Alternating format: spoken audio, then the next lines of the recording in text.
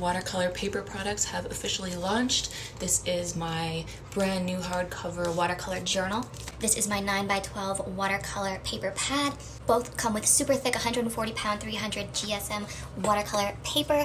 It is acid free, made with cotton, and there are 20 sheets per product and they're available right now on my website wonderforest.com the link is in my profile and you can save 15% off until monday only with code yay paper